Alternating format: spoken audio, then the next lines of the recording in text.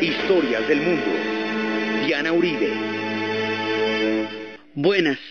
Les invitamos a los oyentes de Caracol que quieran ponerse en contacto con los programas, llamar al 245-9706, 245-9706 o escribir al email de auribe arroba hotmail.com diauribe.com o a la página web www.dianarayauribe.com. Hoy vamos a ver la crisis energética, el Watergate y la era Carter.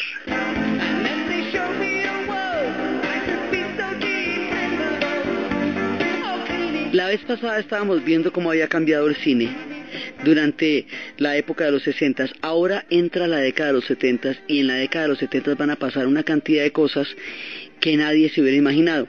En 1969, al terminar la década de los 60, se hizo un estudio haciendo una proyección de cómo sería la historia en el siguiente decenio a partir de las condiciones en las que estaban tomando en cuenta que lo que había pasado iba a seguir pasando poco más o menos así. Fue un estudio exhaustivo a propósito de todo, de la vida cotidiana, de las costumbres, de todo, todo, todo, todo.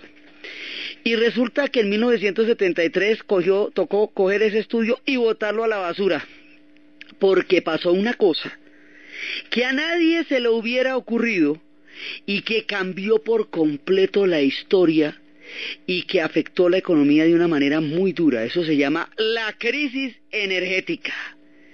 Porque la historia sale con unos sorpresonones que uno no se imagina. Entonces aquí se va a empezar a dar un viraje desde la crisis energética, eh, el tiempo del Watergate, una cantidad de cosas se van a ir sumando y van a dar un viraje en la historia.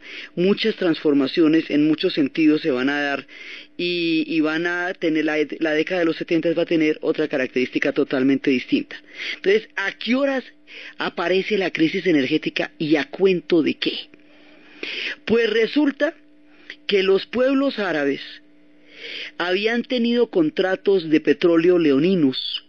Lord Darcy Knox le había hecho un contrato a un jeque iraní en 1903, en el cual toda la perforación, exploración, comercialización y, extracción del petróleo del antiguo imperio persa, es decir, la mitad del Asia, sería para esta compañía durante 60 años sin regalías. Esto originalmente era la Anglo-Persian, que después se llamaría la British Petroleum. Entonces resulta que ese contrato que hacía que la explotación en el suelo donde el petróleo estaba no se tradujera de ninguna manera en riqueza para el país o la tierra que lo poseía, fue el modelo con el que se hicieron los contratos de las petroleras en los países árabes desde el comienzo de los tiempos, de manera que cuando los países árabes se pellizcaron, y se dieron cuenta que la fuente energética era el petróleo, dijeron, ve, ¿y por qué si nosotros somos los que tenemos el petróleo, somos los más vaciados? ¿Qué será? Dice, pues que no controlamos los precios. Entonces, ¿qué hacemos? Dice, bueno, ¿y esto cómo se le hace? Entonces resulta que estos contratos leoninos llevaron a unas crisis profundas hacia los años 40 y 50, cuando empezaron los intentos de nacionalización del petróleo, uno de los cuales se hizo en Irán y lo hizo Mossadegh. Hizo un golpe de Estado, nacionalizó el petróleo y a él le hicieron un golpe de Estado, revirtieron la nacionalización del petróleo y pusieron en el trono al Shah de Irán. Entonces, para echar atrás ese proceso. Y en todos lados donde se hacían esos intentos la cosa iba muy complicada pero el que va a crear una conciencia histórica del valor del precio del petróleo, que la gente le va a conocer como la OPEP, Organización de Países Exportadores del Petróleo, curiosamente no es un árabe, es un venezolano. La idea la va a hacer un venezolano. Ese venezolano también empezó a pensar lo mismo, ¿por qué será que nosotros siempre eh, eh, atrás y nosotros somos los que tenemos el petróleo. Este hombre se llamaba Juan Pablo Pérez Alonso. Y este Pérez Alfonso era un jurista y lanzó una ley en Venezuela en 1943 que se llamaba la Ley de Hidrocarburos. Y la Ley de Hidrocarburos era la ley que en ese que daba condiciones equitativas de la participación en la riqueza petrolera de Venezuela y la fue implementando y pum que le hicieron el golpe de Estado lo mismo que a, a Mossadegh e impusieron a Pérez Jiménez como un dictador con el beneplácito de la Standard Oil. Las petroleras estaban determinando toda la geopolítica, tanto que los pueblos del Medio Oriente sus límites no fueron trazados de acuerdo con las fronteras culturales y políticas en ellos contenidos, sino de acuerdo con los yacimientos. Habíamos visto cuando la disolución del imperio turco otomano, que se reunieron a, repartirse lo que era el imperio y la manera como se trazaron los límites fue a través de ese lápiz rojo de Gulbenkian que dijo, esto es el territorio comprendido en el antiguo imperio otomano y todo lo que saquen de ahí, de eso yo quiero el 5%. Una de las fortunas más grandes que se ha hecho se llama Calcus Gulbenkian, conocido como el hombre del 5%. Entonces, empiezan a crearse unos límites que no corresponden a los pueblos, por eso es que uno ve paisitos chiquiticos como Qatar y como Bahrein, y uno ve paisotes como la Arabia Saudita que tiene dos millones de kilómetros cuadrados, y esos límites son totalmente hechizos, son hechizos por las multinacionales petroleras que fueron las que determinaron cómo quedaría el mapa del Medio Oriente. Entonces, esta distribución arbitraria de los pueblos genera una infinita cantidad de conflictos. Y fuera de eso, los contratos leoninos en donde a un país le llegaba el 10% de la riqueza que producían petróleo, el petróleo de esos pueblos donde la, la producción es absolutamente increíble. Y eso también le pasaba a Venezuela. Entonces, al haberse hecho el golpe de Estado, y haber retrocedido la ley de hidrocarburos, entonces Pérez Alfonso se pone a pensar, hombre, esto tiene que haber una manera de buscarle la comba al palo, alguna cosita tenemos que poder hacer. Y se fue por el exilio, un largo exilio, y un día se encontró con un árabe saudí que se llama Abdullah Tariki y el ministro de Asuntos Petroleros de la Arabia Saudita se encontraron en el Hotel Nilo Hilton. Y el hombre le echó el cuento, venga, hagamos una cosa aquí bien chévere para que los precios del petróleo le queden a los países que lo producen. Y ahí fue en la alianza de estos dos, del venezolano y del árabe saudita, que surgió la OPEP, la organización. Al principio era la Organización de Países Árabes Exportadores de Petróleo, pero luego se vuelve la OPEP, la, la Organización de Países Exportadores del Petróleo. Eso nace en 1960. Sí, pero todavía no logran condiciones, nace después de golpes de Estado y todo eso, y alrededor de la nacionalización del petróleo es que surge el nacionalismo árabe y las figuras como Gamal Abdel Nasser y las figuras inclusive el mismo Hussein se van a volver y Gaddafi se van a volver líderes porque nacionalizan el petróleo. O sea, la idea es que esa riqueza les pertenezca a ellos. Lo nacionalizan, pero ahora vamos con el tema de los precios.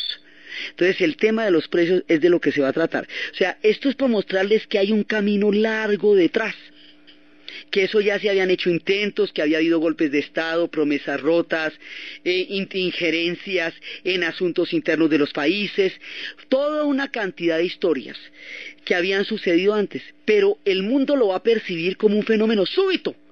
O sea, esto se viene cocinando hace rato, pero como todo en la historia de golpe no es visible, sino cuando ya la cosa está encima. Entonces, el 8 de octubre de 1973, después de iniciada la guerra de Yom Kippur, que es, digamos, la última de las grandes guerras entre Israel y los países árabes, y esa guerra cada uno dice que la ganó. Los árabes dicen que la ganaron y Israel dice que la ganó. Es como la batalla de Kadesh, la que se hizo entre los egipcios y los hititas, que en el imperio, en el antiguo imperio egipcio existe una cantidad de murales acerca de cómo Ramsés ganó la batalla de Kadesh y eso tiene una propaganda en jeroglíficos y en la cosa más increíble. Y uno va a Turquía y eso hay otro poco de murales de cómo el rey de los hititas ganó la batalla de Kadesh. Bueno, aquí pasó una cosa parecida porque es una guerra donde hay un empate es la primera vez que hay un empate en las guerras que se dieron a lo largo de la década, de las diferentes décadas entre entre Israel y los países árabes. Estando en ese contexto, cuando la cosa está tan álgida, empieza una proclama, una proclama en la cual los países exportadores de petróleo van a controlar no solamente los precios, sino la producción. Y al controlar los precios y la producción, es decir, cuánto petróleo usted va a sacar al mercado y a qué precio lo va a sacar, le van a dar la vuelta por completo a toda la economía mundial. Y la consigna de esto se llama, la era del petróleo barato se acabó. ¿Me entiende? Se acabó. Ahora esto vale. Entonces eso quiere decir que una sociedad como la sociedad occidental, montada en el 85% sobre la fuente energética del petróleo, porque el petróleo era muy barato, ahora se le pone el dulce a mordiscos. Entonces el petróleo se vuelve carísimo entonces ya los grandes Cadillacs, los Osmobiles, esos carrotes tremendos que rugían y en donde se hizo toda la generación de los sesentas en el asiento de atrás, eso no se puede volver a hacer porque es que resulta que prender un carro de esos le sale a un salario mínimo. Entonces eso se van volviendo cementerios y cementerios y cementerios de carros. Y son los pequeñitos carritos Subaru japoneses, económicos y compactos los que empiezan a tomarse el mercado y las grandes ensambladoras que le habían dado a los Estados Unidos el motor del desarrollo de la sociedad industrial avanzada de la posguerra, pues quedan atrás, porque ya el petróleo se puso costosísimo. El petróleo tiene 500 derivados, uno de los cuales es la licra, como quien dice que hasta está uno puesto con toda la cosa, y todos los usos industriales, la parafina, todo, querosene, todo. Entonces la sociedad industrial no había entendido ni había experimentado semejante cataclismo. Y esto la hace pasar del superávit de los sesentas, de la boyancia económica, de ese crecimiento gigantesco que permitió la expansión, ese gran ciclo de expansión de la sociedad americana en los sesentas, ahora vamos a pasar a una depresión y va a haber esta inflación, es decir, sube la inflación y no hay crecimiento económico, esto se va a volver una cosa muy grave, eso afecta a todo, todo. Hasta los acetatos son de petróleo, entonces durante un tiempo no se sacaban artistas nuevos porque sencillamente los acetatos también eran costosos, todo era costoso. Entonces eso va a cambiar la vida cotidiana y va a cambiar la fuente energética. Ahí es cuando empiezan a buscar fuentes alternas que de alguna manera puedan mitigar o resolver el problema, pero es un campanazo. La cosa más impresionante porque los precios se cuadruplicaron en, una cuestión de dos semanas, se cuadruplicaron en el mercado y esto va, va a dar lugar a un pánico como nunca lo habían experimentado antes en términos de una fuente energética.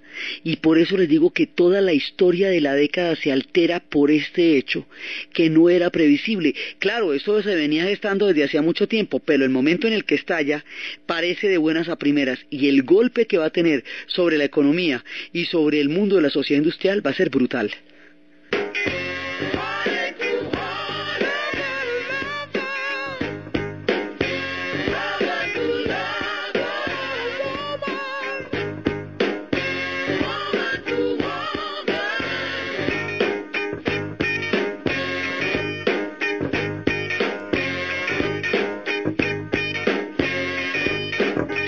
Este fenómeno va a ser muy curioso porque los árabes saudíes se van a volver unos archimillonarios, la cosa más impresionante, y van a empezar a importar todo, todo para la Arabia Saudita. Hemos dicho, me gusta ese puente, es lo y hágamelo allá en Arabia Saudita de los Rolls Royce, pero no tenían la infraestructura para eso.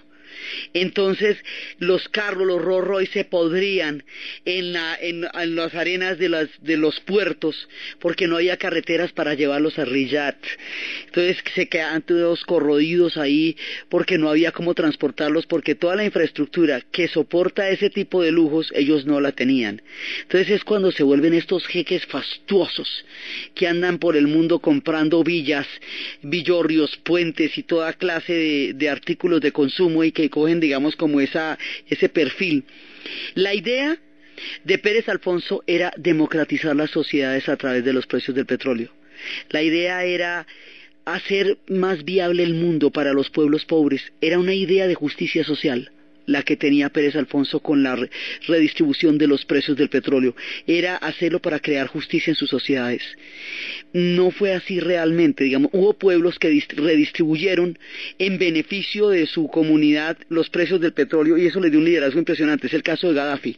Sí, Gaddafi eh, era un tipo feroz, un nacionalista ultranza, pero él distribuyó en Libia los precios de los bienestar del petróleo, eso le dio un apoyo muy grande en su momento de parte de su pueblo. Hay un momento en que la crisis se, va se van a dividir ellos y la Arabia Saudí empieza a aflojar y al aflojar la Arabia Saudita porque deponen al ministro de Petróleos que conjuró la OPEP porque les parece demasiado radical, demasiado fuerte.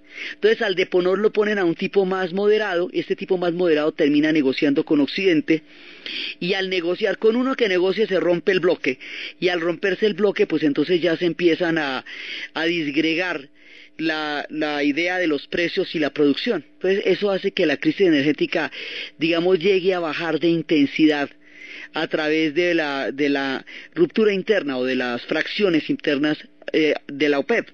Entonces en ese momento es cuando ya baja, pero quedan avisados. O sea, quedan avisados que una crisis energética es de unas proporciones y de unos impactos económicos y políticos muy grandes. Eso quiere decir que va a haber desempleo, quiere decir que va a haber inflación, quiere decir que no va a haber ese montón de oportunidades que había antes, quiere decir que se viene una era mucho más dura, más difícil que la que había pasado porque los sesentas eran épocas de, de bonanzas, de vacas gordas. Estas son las épocas de las vacas flacas. Y le van a coger terror a las crisis energéticas. Por eso es que cuando estalle la revolución islámica le van a tener mucho miedo a ese proceso porque ahí se conjurará otra crisis energética. Y bueno, y en la que vamos, cada que el petróleo tose, pone a temblar la economía. Entonces, este factor le quita el plante de bienestar a la sociedad americana en la siguiente década. Le disminuye muy sensiblemente su capacidad de crecimiento y crea un nuevo equilibrio mundial hasta el punto en que las guerras que vendrán en el futuro tendrá hasta nuestros días tienen que ver con el petróleo.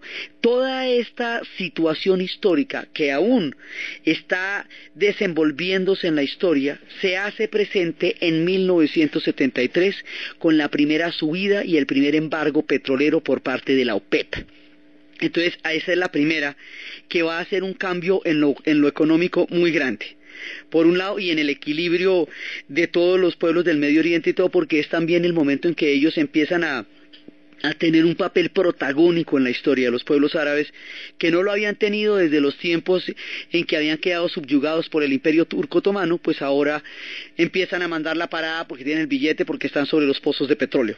Y todo el nacionalismo árabe está montado sobre eso, sobre la posesión de los pozos de petróleo y los partidos Baas van a tener esa, eh, eh, ese plante y las guerras van a estar determinadas también por el hecho de que ya es una época en que el petróleo se vuelve un arma de presión con la cual los países árabes pueden empezar a exigir condiciones que no tuvieron, porque cuando se hicieron los contratos el petróleo no era importante para ellos, porque para ellos lo que es importante es el agua y los camellos que era como se movían ellos, y no existían los estados nacionales, todavía eran parte del imperio otomano.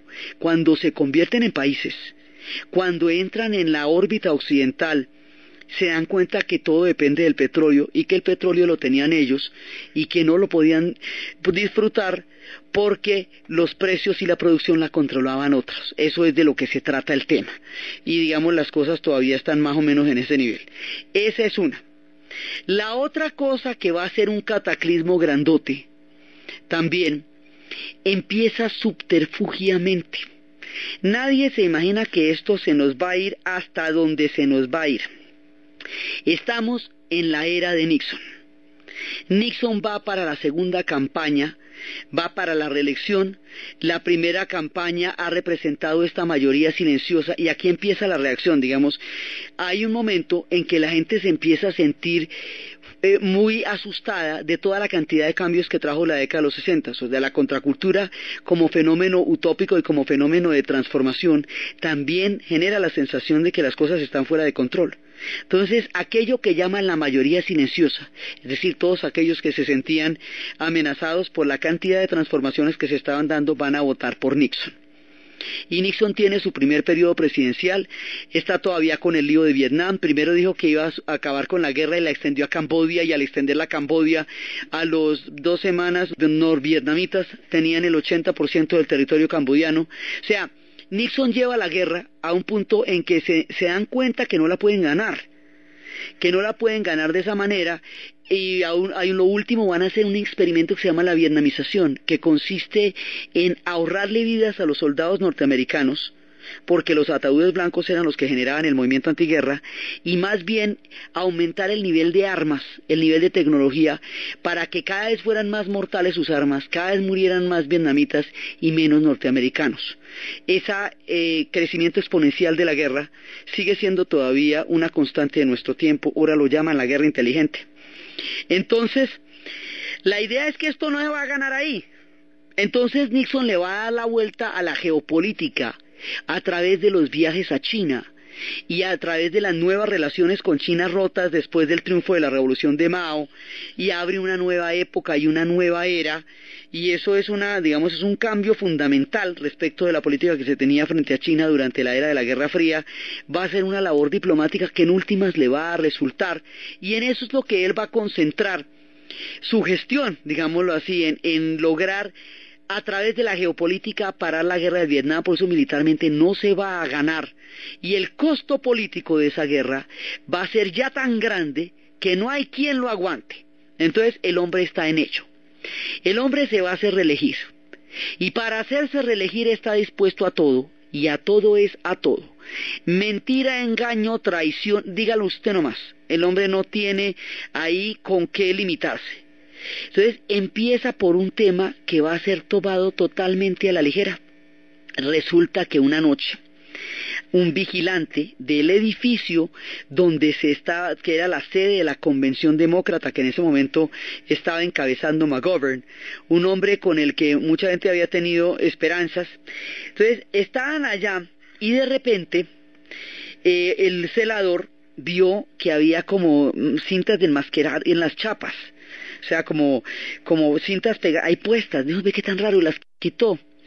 Y luego fue, hizo una vuelta y las cintas seguían ahí, y el tipo sentía como gente en el edificio. Dijo, ve, esto está muy raro, y llamó a la policía. Y la policía llegó y vio a unas personas que estaban merodeando dentro del edificio del Watergate, y los detuvo. Pero esto no ocupó mayor cosa. El chiste de la película de Forrest Gump es que Forrest Gump lo muestran como el, que él está dormido y lo despiertan unas linternas en el edificio de enfrente y él es el que dice que no dejan dormir. Resulta que estos son los plomeros. Y al principio la noticia no da mayor importancia y frente a todo lo que se está jugando a nivel geopolítico no, no parece tener la mayor eh, cobertura. Pero el Washington Post sí le bolas y de ese periodismo independiente que habíamos visto que se creó durante la era de las comunas, de toda esa búsqueda de una realidad diferente a la que los medios mostraban, de todos aquellos que desarrollaron el periodismo investigativo, de la escuela de Tom Wolfe, de lo que se llamaba el paraperiodismo porque era el periodismo paralelo a la prensa oficial, van a surgir una serie de periodistas sumamente críticos que luego van a llegar a trabajar a los grandes diarios. Aquí la diferencia entre una noticia por allá de cuarta página y todo lo que va a pasar la hacen dos periodistas que se llaman Woodward y Bernstein esos dos periodistas que hasta serían llevados al cine en la figura de Robert Redford y Dustin Hoffman en una película que se llamaría Todos los hombres del presidente, estos hombres se van a dedicar a investigar, a seguir la pita. Qué estaban haciendo señores ahí en ese edificio por la noche, como por ejemplo, si ellos eh, son del partido contrario. Y empiezan a buscar a seguir el hilo, hay una leyenda que se habla de un personaje que nunca, cuya identidad no se conocía, que se llamaba Garganta Profunda, que era el que les estaba dando a ellos por la pista de por dónde seguir. Y empiezan a seguir la pista y esto cada vez va a haber más gente implicada y cada vez va a haber más gente implicada y eso va subiendo, subiendo, subiendo hasta que llega al círculo mismo del presidente hasta que llega a sus asesores de campaña, hasta que llega a los más íntimos de él, que son los famosos hombres del presidente, que los manda de, de licencia, pero ya cuando los manda de licencia ya la cosa está, está totalmente fuera de control. El asunto fue que pusieron a una serie de hombres a espiar a poner micrófonos, a abrir archivos y a robar las estrategias de la campaña de los demócratas para que los republicanos las conocieran previamente y de esa manera asegurar la victoria. Eso fue el Watergate. Y se llama así por el nombre del edificio, porque allá fue donde sucedió eso, en el edificio Watergate. Entonces, y pero lo peor fue que ganaron, o sea, Nixon fue reelegido porque hizo una labor de espionaje, de robo, de allanamiento y de, manipulación de información obtenida ilegalmente para ganar su campaña presidencial. Ese era el tamaño del escándalo, ni más ni menos. Y esto le va a levantar hasta él. Hasta cuando ya lleguen a las cintas, el hombre borró las cintas, que no entregaba las cintas de todo lo que grabó allá. Y ya, digamos, esto va a llegar a un punto en que al hombre le va a tocar renunciar. Porque esto, y ahí surge la figura del impeachment, que es esa figura jurídica en la cual un presidente es conminado a no terminar su periodo porque se prueba que hay algo altamente eh, irregular en la manera como llegó al poder. Ese es el asunto del Watergate. Nunca antes ellos habían enfrentado una cosa de ese tamaño. Entonces el hombre le va, antes de que se le venga encima todo lo que se le viene encima, el hombre renuncia. Porque de todas maneras lo van a sacar de la presidencia. ¿Qué pasó? O sea, ¿por qué llegaron a esto? Llegaron a esto porque durante la época de la Segunda Guerra Mundial, el poder presidencial se fue concentrando, concentrando, concentrando en, la, figura del presidente, del ejecutivo, el poder, digamos, el poder de la nación, cosa que no, ellos no le veían ningún problema durante la época de la Segunda Guerra Mundial porque era un estado de guerra. Luego, inmediatamente viene la Guerra Fría, la dinámica de la Guerra Fría avala la concentración de poder en las manos del presidente y una figura como Eisenhower, pues era igualmente y siempre lo fue un héroe de la Segunda Guerra Mundial. Ahí había una continuidad que no les preocupaba a, los estadounidenses. Nixon había sido un halcón de la Guerra Fría y uno de los duros del macartismo, de los perseguidores también tenaces, y había perdido frente a los Kennedy, como habíamos visto en su tiempo, y ahora Resulta que el hombre estaba en ese momento en el poder de una manera en que no la podía justificar. Entonces, ¿qué es lo que piensan con esto? Lo que piensan es que se les fue la mano en la concentración del poder en la figura del presidente. Y lo que hay que hacer es ponerle límites a la figura presidencial. Y hay que darle mucho poder al Congreso para que el Congreso pueda neutralizar al presidente, digamos que el presidente deje de ser una rueda suelta que pueda tomar decisiones tan graves como las que se han tomado y que tenga tantas atribuciones y tantas posibilidades como para hacer una cosa de esas en una campaña de reelección. Dicen, el problema es que el sistema está fallando porque no puede controlar que una persona pierda las proporciones del alcance ético y político de su poder. Esa es la reflexión del Watergate. Y el Watergate va a democratizar, eh, digamos, va a reformar muchísimo el sistema americano porque le va a dar mucha más representación al Congreso y a los ciudadanos en detrimento del poder presidencial para crear un equilibrio que se cuestionó después del asunto del Watergate. Pero la política de ellos es antes y después del Watergate. This is the 37th time I have spoken to you from this office, where so many decisions have been made that shape the history of this nation. Each time I have done so to discuss with you some matter that I believe affected the national interest. In all the decisions I have made in my public life, I have always tried to do what was best for the nation. Throughout the long and difficult period of Watergate, I have felt it was my duty to persevere, to make every possible effort to complete the term of office to which you elected me. In the past few days, however, it has become evident to me that I no longer have a strong enough political base in the Congress to justify continuing that effort. As long as there was such a base, I felt strongly that it was necessary to see the constitutional process through to its conclusion. That to do otherwise would be unfaithful to the spirit of that deliberately difficult process and a dangerously destabilizing precedent for the future.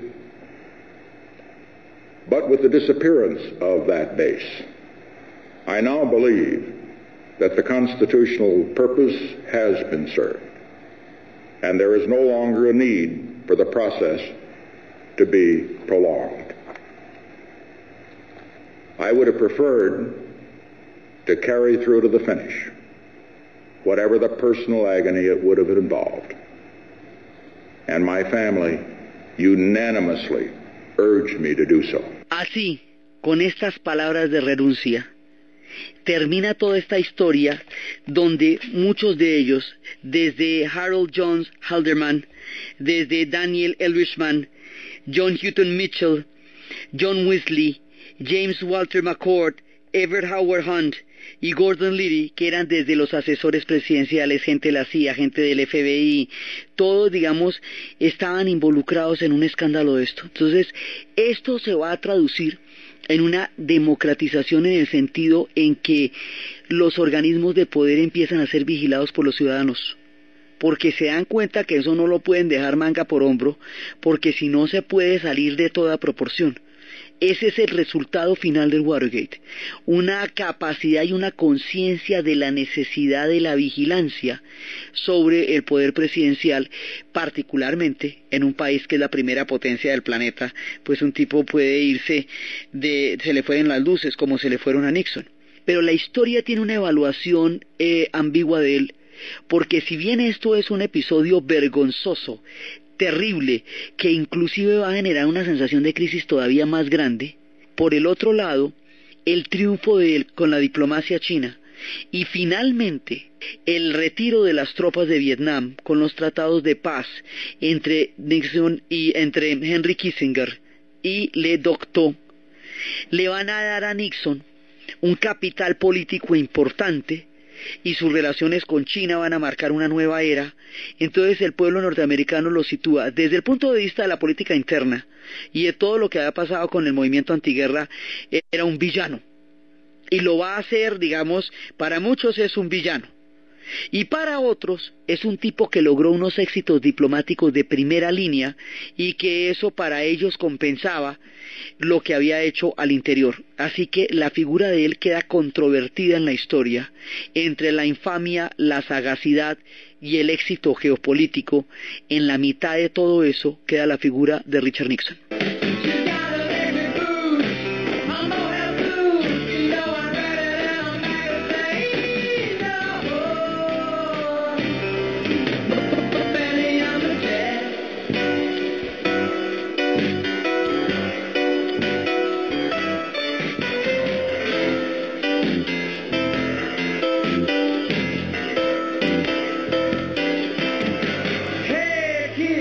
Y Bernstein quedaron en la historia del periodismo como los adalides de toda la prensa independiente y de la prensa responsable, como los herederos de Pulitzer en el sentido ético en que Pulitzer había creado el periodismo, había concebido el periodismo como una manera de convertirse en un instrumento para que los ciudadanos pudieran vigilar el quehacer público.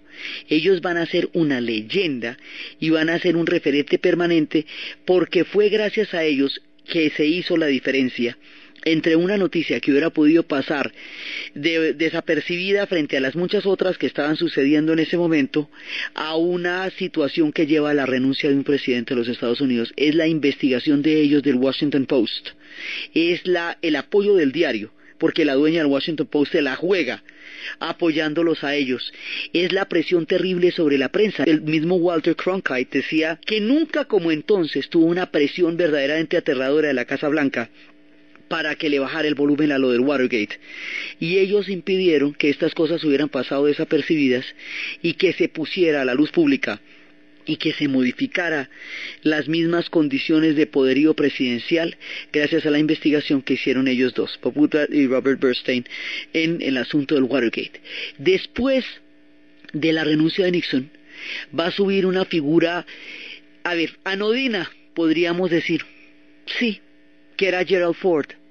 Un tipo, digamos, como, como casi que en la sombra. Lo que hace Gerald Ford es perdonar a Nixon.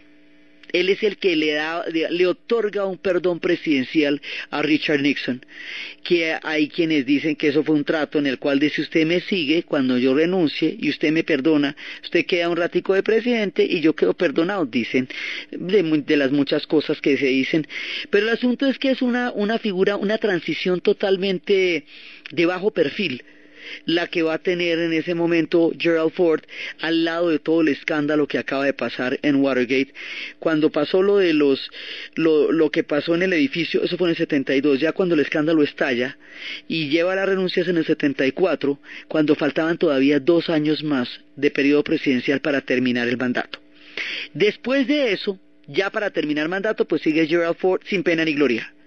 Y después de un personaje que es un tipo muy valioso, muy valioso en el sentido en que Estados Unidos concibe el ideal de la democracia, digamos, un personaje como del corte de los que Jefferson se, se soñaba, un tipo, digamos, capaz de llevar el ideal de la nación americana a la política externa, que eso es sumamente complicado porque ellos siempre han tenido una profunda contradicción entre los ideales que los representan y los han fundado como nación y la política exterior.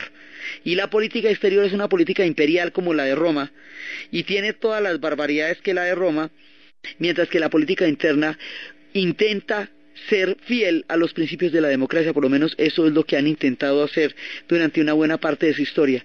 Carter trata de ser consecuente con la idea de la democracia, el tipo se llama Jimmy Carter y él trata de ser consecuente entre la idea de la democracia que hace a la, a la fundación de su nación y la política exterior. Entonces el hombre acaba con la doctrina de la seguridad nacional que avalaba la tortura y los golpes de Estado y los apoyos a los personajes más oscuros y siniestros siempre y cuando fueran aliados de los Estados Unidos. Podían ser monstruos verdes de patas moradas, pero si eran aliados se les apoyaba. Personajes horrorosísimos como Ferdinando Marcos, como Somoza, como Pinochet, como Videla, o sea, personajes muy miedosos lo que va a hacer Jimmy Carter es plantear una política de derechos humanos. Entonces va a acabar la escuela de las Américas, la doctrina de la que avalaba la tortura de las, de las dictaduras del cono sur y todo eso, y lo que va a hacer es buscar una, una línea nueva en la cual este tipo de cosas no se avalen. Y eso le salva la vida a millones de personas. Él es el arquitecto de la paz del Medio Oriente, el primer proceso de paz. El primer proceso de paz del Medio Oriente se va a dar entre un hombre que se llama Anwar el Sadat y otro que es Menachem Begin, a través de la mediación de Jimmy Carter. Y se va a dar porque un día Anwar el Sadat dice, esto tiene que tener una salida política. Llevamos cinco guerras con Israel Cinco guerras, la del 48, la del 56, la del 67, la del 73, la de Yom Kippur, y ninguna de esas guerras eh, nos ha servido para nada. Egipto ha puesto el pechito en todas, de todas ha salido quemado. ¿Y qué? tenemos un respeto como nación muy grande, pero tenemos una cantidad de generaciones comprometidas en conflictos y el país no crece porque nunca deja de estar en guerra. Vamos a hacer una paz unilateral con Israel. Y todo el, digamos, toda la historia unilateral en el sentido que de los países árabes es el que entra en proceso de paz con Israel porque Israel también va a entrar en paz con Egipto. se ponen de acuerdo los dos. Pero para eso, Anwar el Sadat renuncia al panarabismo, al liderazgo de Egipto dentro de los proyectos nacionalistas árabes, para buscar una paz que le permita una, que le devuelvan el Sinaí y que le permita una convivencia y un crecimiento económico porque si no se les va a ir la vida en guerras. Y él dice, en algún momento la idea es que toda la región entienda lo que estamos haciendo y la idea es que vamos por partes, vamos a empezar por aquello en lo que nos ponemos de acuerdo y vamos a dejar de últimas aquello en lo que definitivamente no nos vamos a poder poner de acuerdo, que era el caso de Jerusalén, siempre eh, la piedra de toque del conflicto. de eso no vamos a hablar ahorita porque eso no nos llevaría a ninguna parte, pero vamos a empezar a plantear la paz y la posible paz, los acuerdos de Oslo y todo aquello que, haya podido funcionar en alguna medida, lo es en, la, en, la, en tanto haya seguido la idea de este hombre, Anuar el Sadat. Claro, hay quienes consideran que Anuar el Sadat traicionó los principios de la guerra eterna, porque en los procesos de paz siempre hay quien considera eso y es ahí donde lo van a asesinar después de firmada la paz de una manera terrible. Anuar el Sadat. Él decía a veces que con los Estados Unidos a veces era complicado eh, negociar porque era difícil meterse con pueblos tan recientes. Claro, los egipcios tienen cinco mil años de historia, entonces esto les parecían recientes, pero el asunto es que estos tres llegan a un acuerdo. Esos son los acuerdos de Camp David y son unos acuerdos importantísimos porque la paz que alguna vez llegue a la región si alguna vez llega, si nos toca, en nuestro tiempo o en nuestra generación o en la que sea, es el resultado del pensamiento de Anwar el Sadat, de la voluntad de Jimmy Carter y de la apertura de espíritu de un halcón de Israel que era Menachem Begin, que en un momento dado son capaces de sentarse, enemigos como eran, y decir busquémosle al mundo otra salida. Esto para que vea que esas cosas sí pasan en la historia. Egipto en este momento no tiene guerra con Israel desde entonces. Israel le devolvió el Sinaí. Egipto renunció a una política terrorista contra Israel, reconoció la existencia del Estado de Israel y tal. Ahí están. Y eso lo hizo Jimmy Carter. Jimmy Carter es el que se compromete a devolverle a Panamá el canal al finalizar el siglo en el tratado Torrijos-Carter. Él es el que con el general Torrijos, una figura de tanta importancia en la historia de Panamá y en la de América Latina, se compromete a decirle, mire, al terminar el siglo XX, en el año de 1999, Estados Unidos le va a devolver la posesión y el control de canal a los panameños y ese tratado queda firmado como una promesa que habrá de cumplirse en el final del siglo. Y después de muchos problemas, con una invasión terrible que sucedió, figuras como Noriega, lo que usted quiera, a la final pasó. El canal es de los panameños. Y el que hoy los panameños tengan un canal, y el que hoy eso sea un ingreso fundamental de la nación, es una obra de la figura de Carter y de la figura del general Torrijos. Ese también es otra. Entonces, ¿qué pasa con un tipo que es así de chévere, que realmente está haciendo cosas sabias, que tiene una visión de paz, que quiere alejarse de los tiempos turbulentos de la Guerra Fría, de la hostilidad, del antagonismo, del miedo, de la paranoia, del terror? A él le van a pasar cosas muy desafortunadas que se salen de sus manos y que lo van a debilitar hasta el punto de que no se logre apreciar en su momento la importancia de este tipo en la Casa Blanca. A él le va a estallar una de esas cosas que le estallan en la historia a la gente que no se las imagina nadie y que venía no de los 50 ni de los 40 como la crisis energética, no, venía del siglo IX.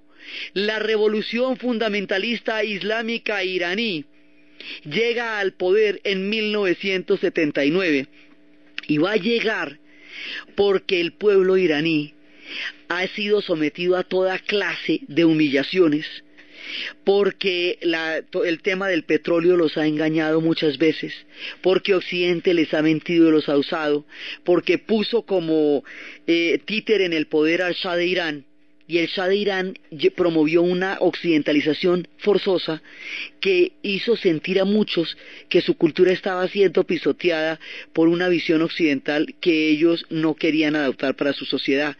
Pero el tema fundamental es que a la muerte de Mahoma lo iba a suceder su hija Fátima y su yerno Ali con sus hijos Hassan y Hussein, pero ellos fueron asesinados la verdadera descendencia del profeta nunca llegó al trono del Islam. De acuerdo con los seguidores de la línea sanguínea, los seguidores de la línea sanguínea son los chiitas, porque chía significa seguimiento. Entonces ellos buscan la espiritualidad de esa familia original como autoridades que sean al mismo tiempo políticas y religiosas. Mientras que los otros hacen, eh, van a seguir cinco sucesores. Califa significa sucesor, que van a ser administradores de la herencia del profeta y que van a creer en unos versos adicionales del Corán que se llama Suna. Por eso se van a llamar los sunitas.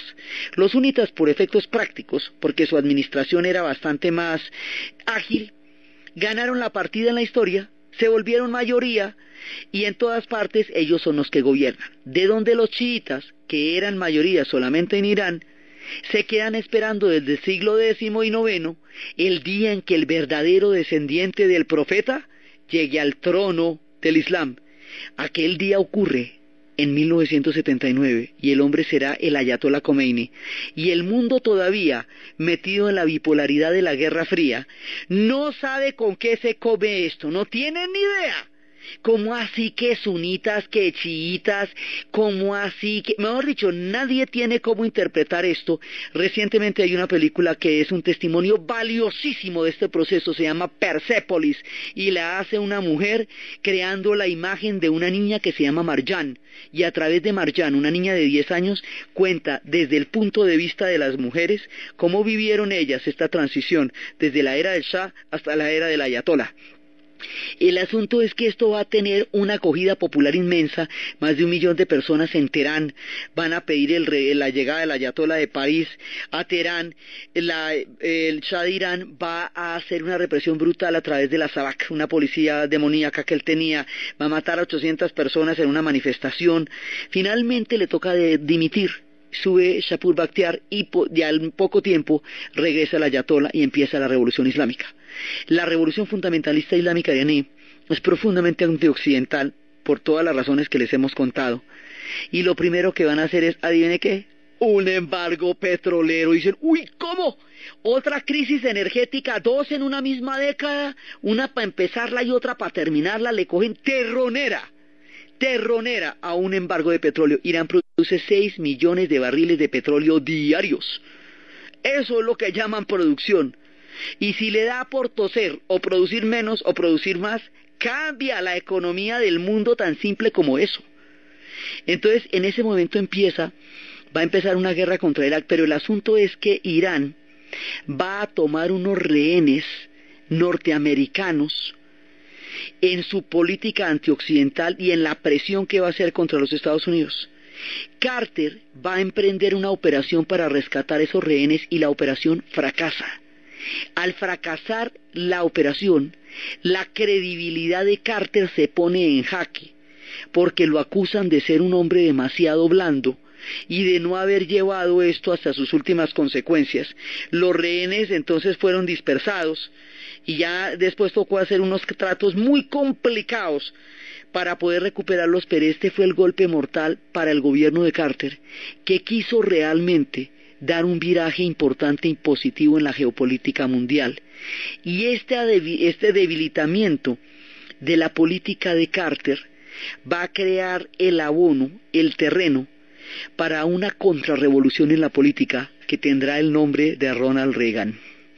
Entonces, la historia de cómo se trepa Reagan en el poder de cómo le toca a Carter sortear semejante crisis y qué es lo que va a pasar de ahí en adelante en los ochentas, es lo que vamos a ver en el siguiente programa. Entonces, desde los espacios de la era del petróleo barato, ida para siempre, de los puertos de Riyadh, de la crisis energética, de la OPEP, de la figura de Carter, del Watergate, del periodismo de Woodward y Bernstein como adalides de la opinión pública, de la democratización del sistema a través de la participación ciudadana, de todas las historias que se tejieron en estos convulsivos años, en la narración Diana Uribe, en la producción Jessy Rodríguez y para ustedes feliz fin de semana.